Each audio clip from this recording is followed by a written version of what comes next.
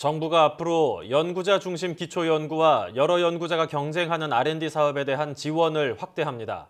미래창조과학부는 홍남기 1차관 주제로 국가과학기술심의회 운영위원회를 열어 이런 내용을 포함한 2018년도 정부 연구개발 투자 방향 기준안을 의결했습니다.